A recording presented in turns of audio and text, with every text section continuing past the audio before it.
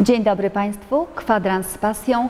E, Dziś gościmy w Rzeszowskiej Szkole, w pierwszej szkole akrobatyki powietrznej, Aerial Studio, E, a moim gościem jest e, Ania Węklar, aktualna mistrzyni w akrobatyce powietrznej. Wdzięk, gracja, pasja to cechy, które łączą mojego gościa. Witam Cię Aniu bardzo serdecznie, witaj, cześć. Witam serdecznie. Po pierwsze, to świetnie, że miałyśmy się okazję spotkać, bo chwilę to trwało, ale super, że się wreszcie udało.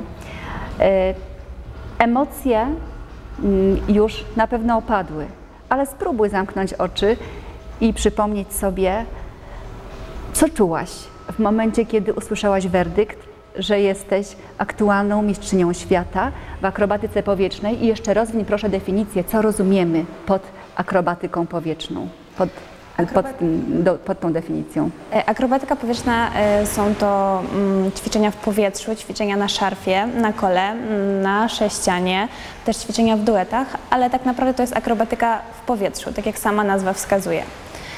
E, Do końca jakby nie wierzyłam, że zostałam tą mistrzynią świata. E, Jakby ogłoszenie wyników e, było dużo później po naszych startach, ale po naszych startach już mogłyśmy wiedzieć, jaką notę otrzymałyśmy i kto jest na którym miejscu. E, Znajomi e, i przyjaciółka, która ze mną była, Kaja Jandzić, która mi we wszystkim pomagała, mówiła mi, że wygrałam, ale naprawdę do końca nie wierzyłam. A gdzie były mistrzostwa? W Lublinie. Mistrzostwa były w Lublinie. E, Nie dowierzałam, że mam to pierwsze miejsce, że, że mam tytuł mistrzyni świata. To w ogóle do mnie wtedy nie docierało. Dopiero już na, na dekoracji, na koronacji, e, kiedy zostałam wyczytana, wtedy może już uwierzyłam bardziej. E, Byłam przeszczęśliwa. Moja jakby ciężka praca, którą, którą wykonuję od małego dziecka, bo trenuję od e, najmłodszych lat, została doceniona. Wiedziałam, że to będzie, że moje dzieciaki są ze mnie dumne, że znajomi rodzice też pawają dumą.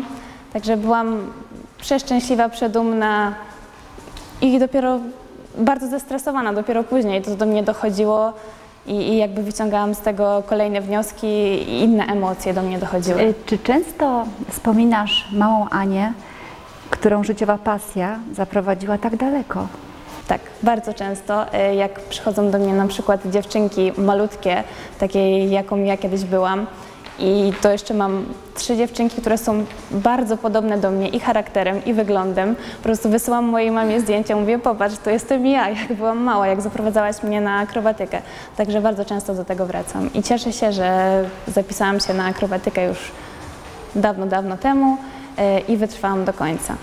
E, A powiedz proszę, jak długo trzeba trenować? Jakie cechy charakteru mieć, e, żeby zajść tak daleko w tak młodym wieku?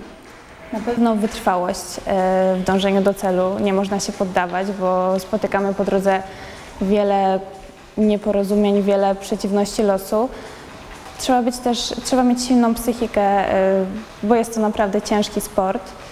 Nie miałaś ki- kiedyś, e, w jakimś momencie, bo jak trenujesz od dziecka, jak mówisz, tak, jakiejś takiej chwili załamania, że stwierdziłaś, nie, może jednak zostawię to, może zajmę się zupełnie czymś innym. Mówimy oczywiście o czasie, zanim zaczęłaś osiągać sukcesy, bo jesteś, jesteś też trenerem w tym momencie w swojej szkole, e, ale wcześniej też byłaś, pracowałaś jako trener. Tak. Powiedz, po- powiedz króciutko, jak to wszystko wyglądało. E, Oczywiście miałam chwilę zwątpienia jeszcze, jak byłam zawodnikiem e, i nieraz zrezygnowałam na... Myślałam, że to już jest całkowity koniec, ale nie mogłam dłużej niż tydzień usiedzieć w domu bez treningów. Po tygodniu, po dwóch wracałam. Powtarzało się to może 3-4 razy w takich najgorszych momentach, kiedy miałyśmy najcięższe treningi, kiedy coś mi nie wychodziło, ale po prostu trzeba było przez to przebrnąć, powtórzyć kolejny, kolejny, kolejny raz. I w końcu... uporem maniaka. Dokładnie. I w końcu dochodziło się do tego celu upragnionego. Jakieś kontuzje podczas tych wielu lat, y, oby, o, oby nie, ale czy, czy takie rzeczy to jest samo życie? Czy takie rzeczy Cię spotkały? Czy miałaś z, z tym problemy? Czy nie byłaś jakbyś strzeżona odgórnie i nigdy takie rzeczy, mówię o, o wypadkach mniejszych bądź większych, bo to też ważne. Tak, e, jeszcze jak trenowałam akrobatykę sportową, nie powietrzną, e, miałam złamaną kość E, śród... Właśnie, przepraszam, że Ci przerywam, bo akrobatykę, e, oprócz akrobatyki powietrznej, od 15 lat, tak, trenujesz e, akrobatykę sportową, więc tutaj e, nie ma o czym mówić, to jest pasja, e, pasja podwójna. Dokładnie. Zaczęłam od akrobatyki sportowej, skończyłam na akrobatyce powietrznej. Jak na razie, zobaczymy co będzie dalej. E, W akrobatyce po- sportowej miałam też bardzo duże sukcesy. Byłam wielokrotną mistrzynią Polski i wtedy pojechałam na Mistrzostwa Świata. Przed Mistrzostwami Świata e, doznałam kontuzji, miałam złamaną kość śródstopia. Ojej, no to jest właśnie to. Tak, i to była moja jedyna kontuzja i mam nadzieję, że ostatnia. Odpukać. Dokładnie. E, Miesiąc wcześniej e, zdarzyła mi się taka sytuacja, że po prostu e, złamała mi się ta kość, ale jakby byłam już zgłoszona na Mistrzostwa Świata i nie mogłam zrezygnować. Chodziłam na rehabilitację, chodziłam na zabiegi i w międzyczasie trenowałam. Wtedy występowałam w trójce kobiet z dwoma dziewczynami e, i zajęłyśmy tylko czwarte miejsce na Mistrzostwach Świata. Także nie był to, to było tak blisko medalu, że troszeczkę, e, troszeczkę na pewno ta moja kontuzja e, w tym brała udział.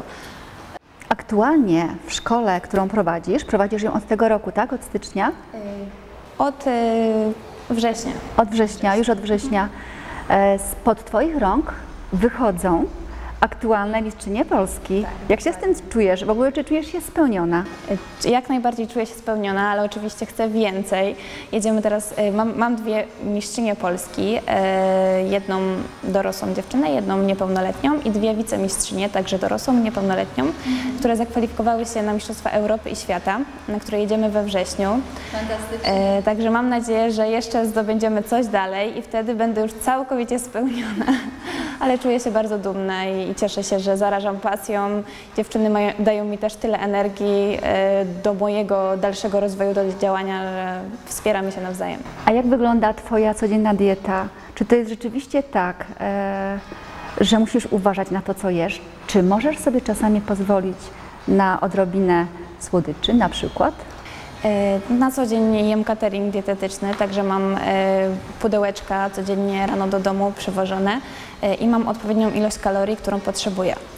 Wiadomo, Oszacowane jest to, tak? Tak, dokładnie, dokładnie, tej ilości. dokładnie. Wiadomo, jestem też człowiekiem i czasem mam gorszy dzień, potrzebuję zjeść czekoladę, tabliczkę, dwie czy trzy. Prostu zjeść jak kanapkę. Dokładnie, także, także czasami sobie pozwalam na jakąś chwilę. Wiem o czym mówisz, bo też tak mam. Czekoladę, tabliczkę, jem Tak. jak kanapkę, jak organizm potrzebuje. Dokładnie. E, Aniu, powiedz jeszcze, jak wyglądało samo przygotowanie do Mistrzostw Świata? E, Rozumiem, że te treningi były dłuższe, bardziej wytrwałe. Jak to wyglądało? Tak od podszewki. Dosyć zabawne, ponieważ ym, do samych Mistrzostw Świata przygotowywałam się tydzień. Tak stricte do Mistrzostw Świata, wiadomo, trenowałam już bardzo długo. Przepraszam, to drugie Mistrzostwa Świata za czas przygotowania.